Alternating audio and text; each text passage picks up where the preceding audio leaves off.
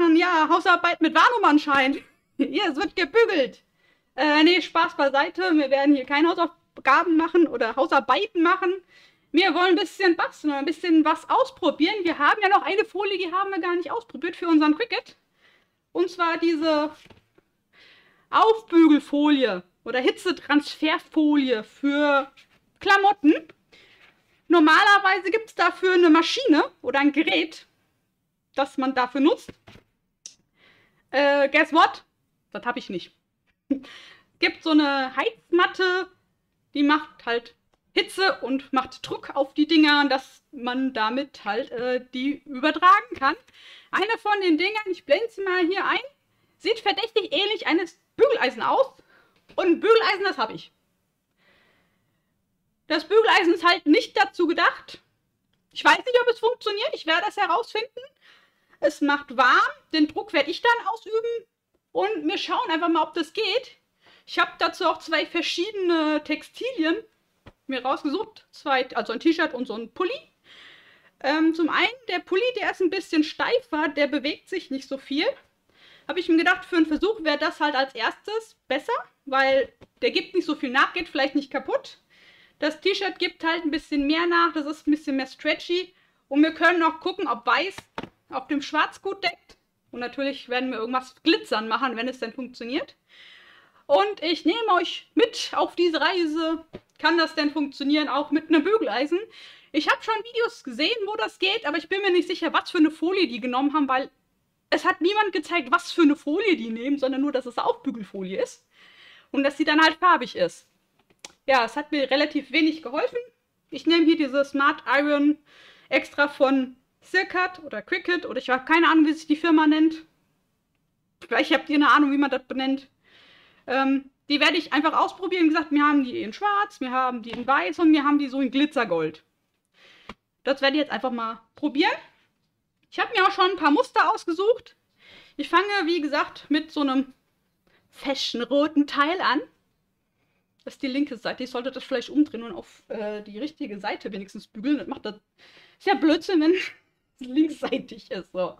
Da ist auch kein Muster drauf. Das ist ein reines rotes T-Shirt, das ich bei mir im Schrank gefunden habe. Tada!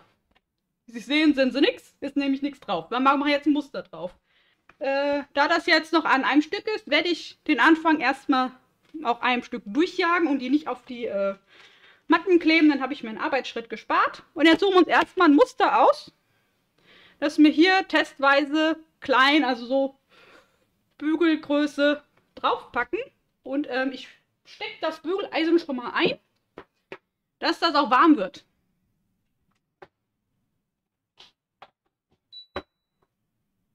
Justen, wir haben Strom. Irgendwas hat gepiepst.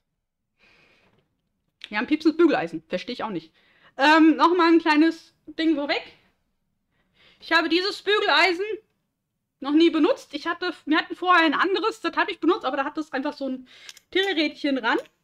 Das hat das auch. Aber das hat irgendwie ein Display und hat nur ein Rad. Das andere konnte man eine Stufe einstellen, die hat man irgendwie nur eine, keine Ahnung. Selber reinigen? Nee, ich wollte das nicht reinigen, ich wollte das, das nutzen. Ähm, ich werde irgendwie herausfinden, wie das funktioniert. Hier an den Seiten sind Knöpfe dran für Temperatur. Ich jag das Ding eigentlich einfach technisch so hoch wie es geht. Mehr ist mehr und gucke, ob es funktioniert. Normalerweise, laut dem, was ich im Internet gefunden habe, sind diese Heizmatten auf 300 Schlag mich tot Grad. Ich glaube, das schafft mein Bügeleisen nicht. Ich werde vielleicht einfach äh, kompensieren, indem ich einfach länger draufhalte. Mal gucken, ob es funktioniert. So, okay. Wir sind jetzt einmal wieder im Designerstudio. Und wir wollen uns erstmal für unseren Vorhaben ein kleines Muster aussuchen. Äh, in Home hatte ich ja schon meine ganzen hochgeladenen Dinger. Ich möchte das hier zum Arbeitsbereich hinzufügen und dann so sollte es da sein. Okay. Das ganze Ding ist schon ein bisschen groß. Ich denke, wir machen das so Pi mal Daumen 10 cm. Ich glaube, 10 cm ist zum Testen eine ganz gute Größe. Es ist nicht genau so Pi mal Daumen, könnten auch 8 cm sein. Hier steht es auch. Wir machen genau 10 cm. Ich weiß ja nicht, ob das dann aufs Bügeleisen passt. Ich habe jetzt mein Metermaß nicht. Wir lassen das jetzt so, das wird schon funktionieren. Und wir gehen auf Herstellen. Äh, das brauchen wir nicht speichern, ist okay. Ähm, ohne Schneidematte. Bestätigen. Worauf ihr achten müsst, wenn ihr diese Sirkat eigene Folie nimmt, ihr müsst die mit der glänzenden Seite nach unten drucken. Und wenn ihr Schrift oder so weiter habt, müsst ihr das spiegeln. Also ihr müsst das spiegelverkehrt drucken, sonst habt ihr es verkehrt rum für euch. So, dann jage ich das jetzt erstmal hier durch. Wir müssen ja noch was einstellen. Wir müssen auch sagen, es ist äh, Smart Iron On. Hier kriegen wir nochmal die Warnung. Denkt daran, spiegeln. Äh, wir machen den Standarddruck. Klinge in B ist sie und dann Start drücken. Machen wir das. Start. Und ich habe Knister, Knister. Sicherheitshalber mir Backpapier geholt, weil ich den Bügeleisen nicht traue und ich lege Backpapier unter, einfach um mich und das Material zu schützen. Wir hier schon mal vorbereiten, bis das gedruckt ist. Ich habe auch perfekte Höhe direkt eingestellt, oder? Vielleicht ein bisschen nach unten. Ich muss den Druck ausüben. Wozu aufstehen, wenn man auch sitzend arbeiten kann? Dann haben wir auch schon hier die Pfote. Und dann schneide ich mir die mit der tollen Schere. Ich habe die ein bisschen groß gemacht. Ich habe mich verschätzt, wie groß 8 cm sind. Bin auch nicht sonderlich im guten Schätzen. Aber das sollte noch. Das sollte noch gehen. Auf dem Bügeleisen sollte das noch passen. So. Ich mache es irgendwie auf die Schulter. Ich wollte eigentlich so ein kleines. Ich hätte vielleicht 5 cm machen sollen. So lasse die mal draußen. Vielleicht brauchen wir die gleich nochmal. Noch hier müssen wir das jetzt voneinander entfernen. Ich dachte mir, bei der Pfote ist halt alles in einem Stück. Da kann nichts verloren gehen, wenn es nicht so 100 pro klappt. Wenn das dann klappt, können wir ein detaillierteres Muster nehmen zum Ausprobieren.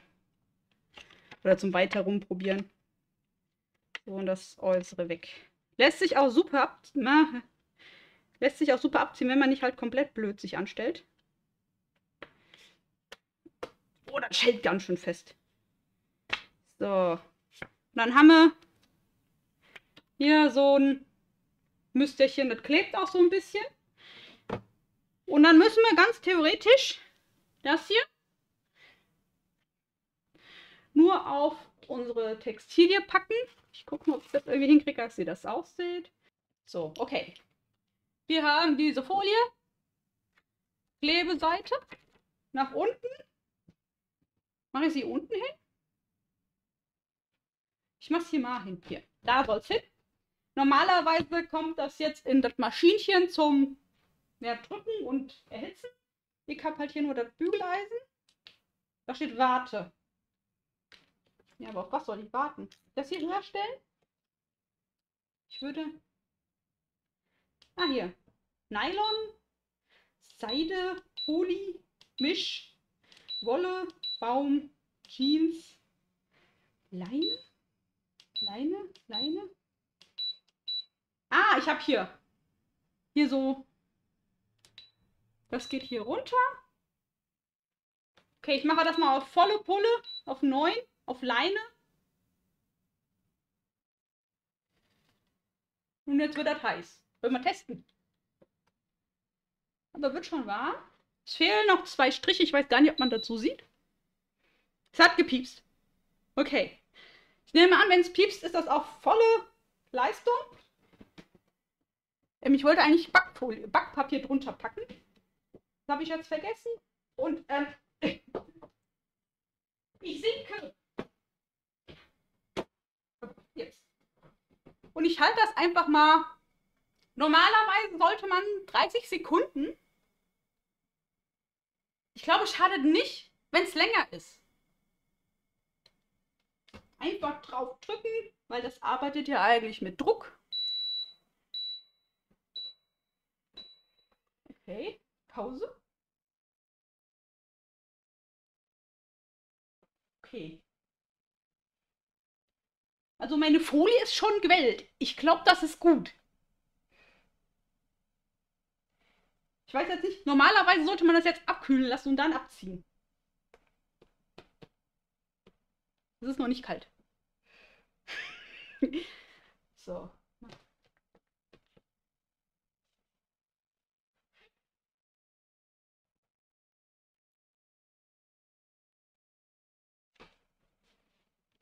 Mache nochmal, um sicher zu gehen.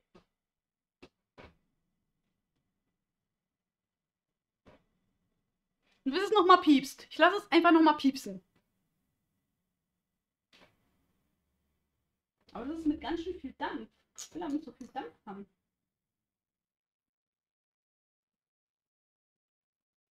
Jetzt dampft es weniger. Ich muss es ja nicht nass machen, ich muss es warm machen. Und schön drücken. Ich habe auch nicht mitgezählt. Oh. Ähm. Ich hätte eventuell vielleicht doch das Backpapier drunter legen sollen. Es ist geschmolzen. Das ist jetzt nicht so gut. Mein Bügeleisen war eventuell vielleicht ein bisschen zu warm. Aber das, was drauf ist, ist drauf. Okay. Ähm, ja, das war eventuell zu lang. Jetzt habe ich Plastik am Bügeleisen. Ich glaube, das findet meine Mom nicht so gut. Aber das werde ich überleben.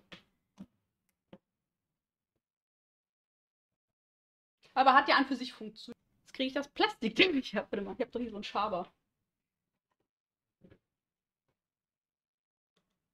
Wenn es warm ist, kann es vielleicht abkratzen. So ganz vorsichtig, dass ich auch nicht kaputt kratze. Ja, das sieht doch gut aus. Wir probieren das Ganze einfach nochmal. Wir machen aber die Pfoten ein bisschen kleiner und wir machen das Backpapier drunter. Ich weiß halt auch nicht, wie warm mein Bügeleisen ist. Steht da irgendwie Maxi drauf? Nee, nur Watt, aber Temperatur halt nicht. Vielleicht gehe ich mal mit der Temperatur ein bisschen runter. So, ich wollte eigentlich mit der Temperatur runter. Ach, ich muss hier drauf drücken. Mischpoli. Ist das? Ich, ich habe keine Ahnung, aus was das ist. Da ist kein Schild dran. Was ist denn hier in dem T-Shirt drin? Habe ich hier ein Schild dran? Nö. Gut. Ich bleibe mal bei Poly für Polyester. Und ich müsste auf Misch gehen. Dann gehe ich auf Nummer sicher, weil ich habe keine Ahnung, was in dem T-Shirt drin ist. So. Versuch Nummer zwei. Also, hallo. Versuch zwei. Ich lasse jetzt auch den tollen Winkel, damit ich die ganze Zeit die Kamera nicht hin und her schieben muss. Ich mache hier auch die Folie ab. Oh, jetzt habe ich von dem fucking Bulleyes erschreckt. Was soll denn das? Wieso piepst du überhaupt? Ich dachte eh wahrscheinlich eh nicht drauf. Ich, werd, ich hätte eh nicht auf dich gehört, Bügeleisen. Du hast mir nichts zu befehlen. Ich mache, was ich will. Hast du gesehen? Ich habe gesehen, was ich nicht machen soll. Ich habe aus meinen Fehlern gelernt. Meistens zumindest. Manchmal brauche ich ein bisschen länger, um aus Fehlern zu lernen. Man muss drei, vier Mal probieren. So. Okay. Bin erst für alle Leute? Okay. Damit ich hier nicht aus mit drüber bügel, gehe ich ein bisschen höher. Nehme dieses Mal das Backpapier, was ich vorhin schon nehmen wollte. Und gehe drauf, bis es piepst. Es piepst. Okay, es piepst ungefähr nach 30 Sekunden, das passt. Das ist eigentlich auch die Zeit, die Stand, die sollte man nehmen. Jetzt ist es glatt. Vielleicht sollte ich jetzt tatsächlich mal warten, bis es abkühlt. So, okay. Mittlerweile ist es abgekühlt. Kann ich es abziehen, ohne dass ich kaputt mache? Okay. Es klebt noch nicht ganz. Probier nochmal genau das gleiche. Fünf Minuten auf Stufe 5. Äh, fünf Minuten? Ja, nee. Halbe, halbe Minute auf Stufe 5. So. Ist immer noch nicht geschmolzen, wir sind schon mal gut dabei.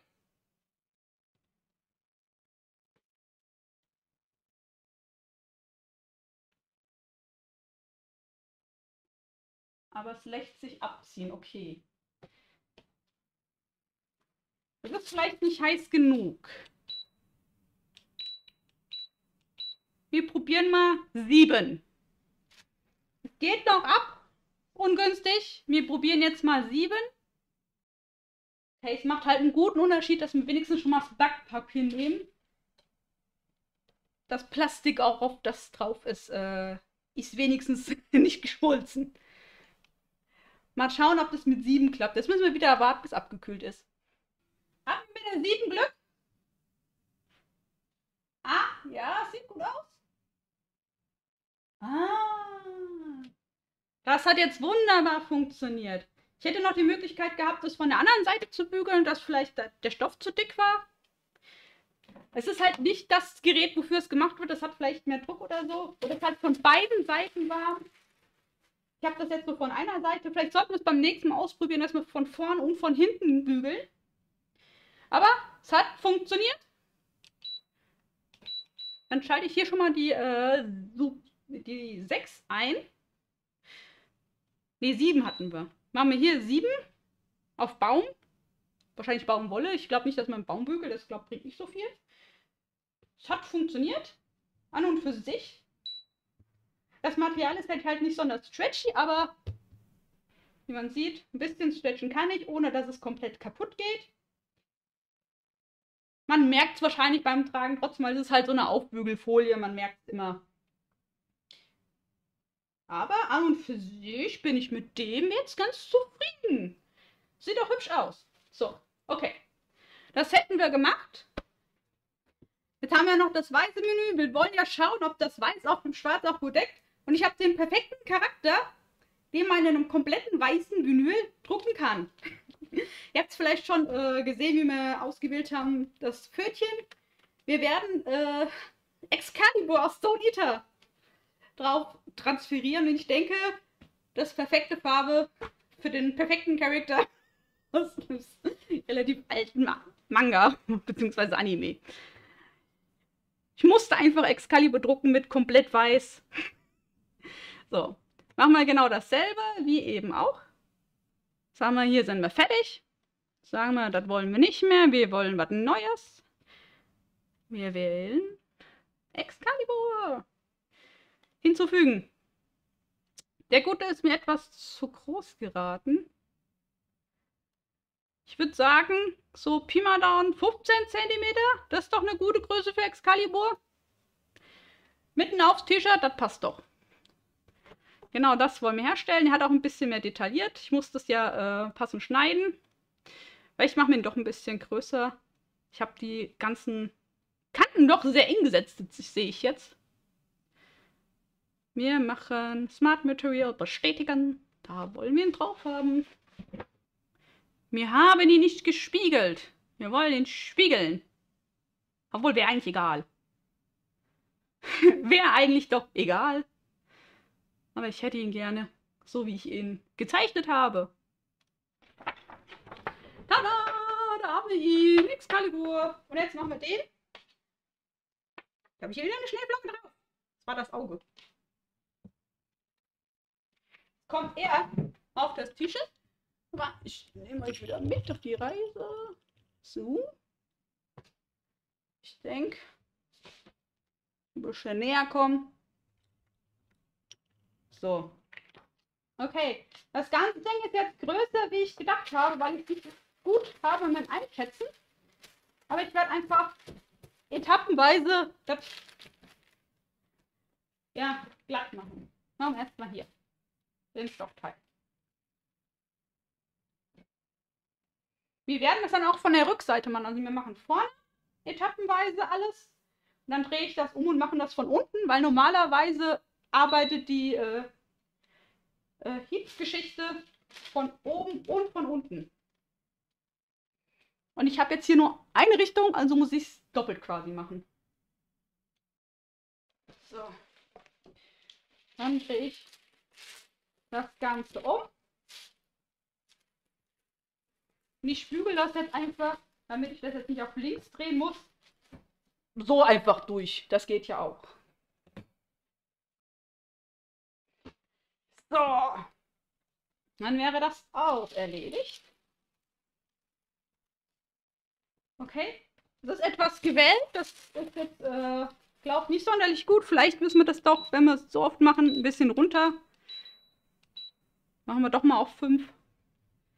Wir haben sehr viele. Na, vielleicht gehen wir auf 6. So, wollen wir mal sehen. Uh, das sieht gut aus. Wir den Stock. Yes, wir haben auch den Stock.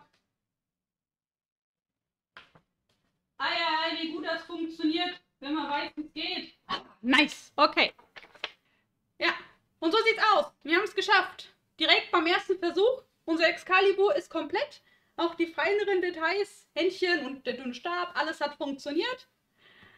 Also hat sich ergeben, wenn ihr das selbst machen möchtet mit dem Smart Iron Bügelzeugs, also hier dieses Circat Smart Iron Gedöns, wenn ihr das mit Bügeleisen macht, mittlere Stufe 5 bis 6, 7 ist zu viel bei größeren, funktioniert bei kleineren ganz gut wie der Pfote.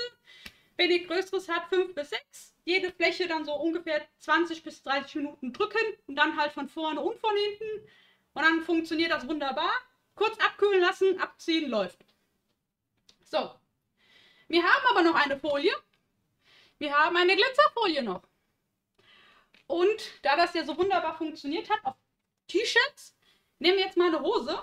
So eine äh, Jaggings, so eine Jeans-Jogging-Hose-Mischung, keine Ahnung. Da ist der Stoff ein bisschen dicker.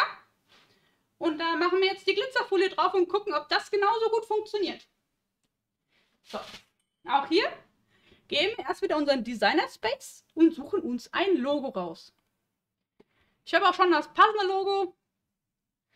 Die haben wir dann hochgeladen. Ne? Wir haben hier nämlich noch so einen lustigen, lustigen Krebs, eine lustige Languste, einen Lobster.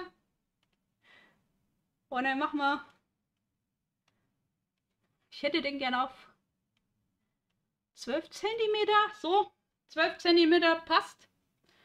Und den wollen wir herstellen. Den brauchen wir auch nicht spiegeln, weil der ist symmetrisch. Einmal den Circuit wählen. Uh, die glitzert schön. Iron on. Wir brauchen es nicht spiegeln. Und ab damit in die Maschine. Ja, wir haben es jetzt doch auch fertig. Ich Dussel habe es natürlich erstmal falsch rum reingelegt und habe die Folie abgeschnitten, anstatt das, was gedruckt wird. Aber ich hoffe, es geht auch so. Und jetzt machen wir unsere Vorbereitung wieder, die Folie ab. Wir hoffen, das funktioniert auch so. Aber müsst ihr eigentlich, wenn es halt nicht jetzt in Gänze auseinanderfällt. Okay. Dann haben wir unseren Lobster. Sagt man sieht hier, oder? Sieht man das auf der Kamera? Ich habe erst falsch rumgeschnitten, weil ich nicht geguckt habe, äh, wie ich das da drauf packe. Und das machen wir jetzt auf die Hose. Mal gucken, ob wir die Kamera irgendwie wieder vernünftig hinkriegen. So. So. Machen wir das hier so dahin. Wir haben gelernt mit dem Backpapier und na, ich muss auch zweimal. Einmal links, einmal rechts. So, wollen wir mal schauen. Müssen wir das etwas abkühlen lassen. Und dann schauen wir, ob es funktioniert hat. Ich lasse es gleich nochmal dran. Können wir? Uh, doch, guck mal. Kaum abgekühlt und schon. Ah, guck mal, wie schön das funktioniert. Und wie schön das glitzern. Gut. Und dann haben wir jetzt unseren Lobster, unser Glitzerlobster, auch auf einem dickeren Stoff aufgetragen, ohne Probleme. Wenn man weiß, wie es geht, funktioniert das alles Echt super einfach. Mittlere Stufe, so 20 bis 30 Sekunden pro Stelle von vorne und von hinten, einfach mit einem simplen Bügeleisen. Und man hat sich die Druckmaschine gespart. Wenn man halt natürlich ganz viel sowas druckt, dann lohnt sich die äh, Druckpresse bestimmt, aber für den autonomalen Menschen, der jetzt halt nicht tonnenweise T-Shirts druckt, der das mehr so just for fun macht, dann reicht das vollkommen aus, wenn man sich äh, ein Bügeleisen anschafft. Hat man eigentlich normalerweise in vielen Haushalten schon selbst. Ja, da bin ich echt froh. Wie das glitzert. Ich weiß nicht, ob man das der Kamera gut sieht. Ich kann gerade nicht so kontrollieren. In OBS. Ah, das sieht doch echt nice aus. Dann haben wir hier unseren wundervollen Lobster. Wundervollen Excalibur. Ersten Testdruck, der verbrannt ist. Ab dem zweiten haben wir es dann herausgefunden, wie es funktioniert. Und auch das Weiß, muss man sagen, das weiße Menü von Cricut deckt wunderbar auch auf Schwarz. Da hatte ich so ein bisschen Bedenken, ob das Schwarz halt durchkommt, dass das alles mehr grau wird. Aber das ist astrein weiß. Und mal schauen, wie gut das sich dann in der Waschmaschine macht, wenn man das ein paar Mal gewaschen hat. Aber da halte ich euch auf dem Laufenden, falls sich da irgendwas direkt ablöst bei der ersten Wäsche. Und dann würde ich sagen, dann war es das für heute. Wir haben Experiment erfolgreich abgeschlossen, dass wir die Bügelfolie auch auf tatsächlich Textilien bekommen und wir haben nur zwei Versuche gebraucht, um es äh, gut hinzubekommen. Was halt echt schön ist, dass wir nicht viel mehr Schwund hatten. Ich bin schlecht in Größen einschätzen. Ich hatte eigentlich auch ein Metermaß die ganze Zeit am Computer. Keine Ahnung, wo das gelandet ist. Das werdet ihr wahrscheinlich nach dem Video finden. Und ja, dann hoffe ich, euch hat das Video gefallen. Ihr habt was gelernt. Vielleicht macht ihr ja selber mit äh, ähnlichen Materialien ja was. Wäre mal cool, wenn da sich Leute finden, die das interessiert. Und ja, ich werde weitere Sachen einfach ausprobieren und gucken, was ich äh, in die Finger kriege, was wir durch die Maschine durchjagen können und was wir da Spannendes mitmachen können. Dann wünsche ich euch noch einen schönen Tag und wir sehen uns im nächsten Video.